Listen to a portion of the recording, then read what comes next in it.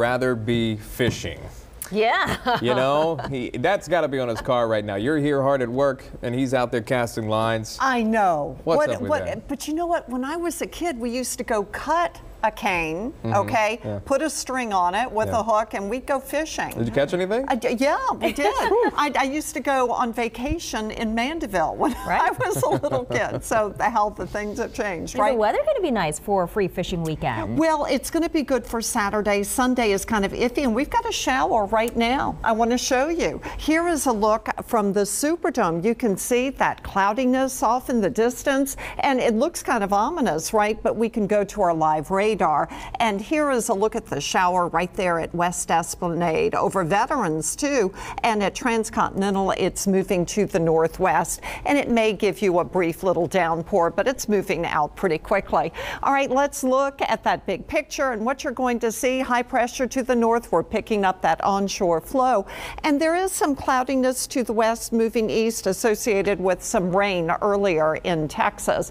So we're zooming in, and you can't see a lot, so we can go to the coast. Here we are with just a couple of little showers. It's not much moving to the northwest. And then we've got these showers right here in the metro. Looks like over in Lafourche Parish there was a shower as well. So I had to put in a 10% chance of rain for today or tonight. I don't see it as a big chance. Also for tomorrow, about a 10% chance of rain. But Sunday, that's when your rain chances are going up. So what we have is this high pressure moving to the east, the onshore flow, and rain chances are going to be higher for your Sunday as this warm front moves out of the Gulf. Not looking too pretty. This is 3:30 in the afternoon. Watch as it kind of moves to the north and dissipates. So fingers crossed. I think you're okay for the big super regional.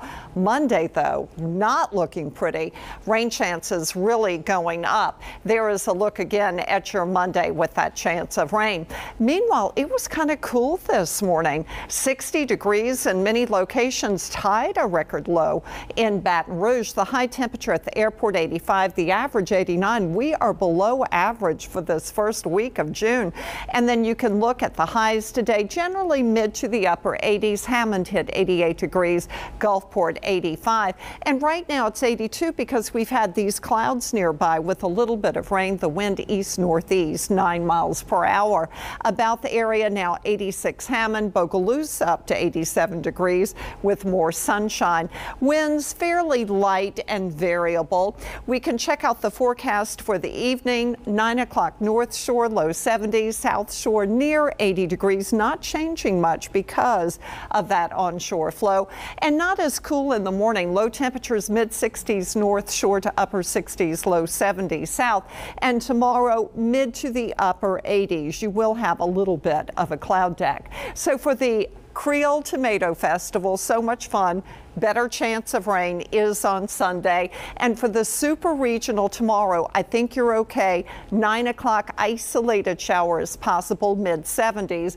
And then at the beach, mid 80s, kind of breezy at times. And the better day to go will be Saturday, not Sunday. Here is a look 3 o'clock. We're in the mid 80s tomorrow. Sunday, 50% chance of rain. Monday, not looking pretty right now. Then as you go into the week, more of a summertime pattern at the end of the week with a 30% chance of rain, kind of hot and humid. But you know, you got to expect it this time of the year.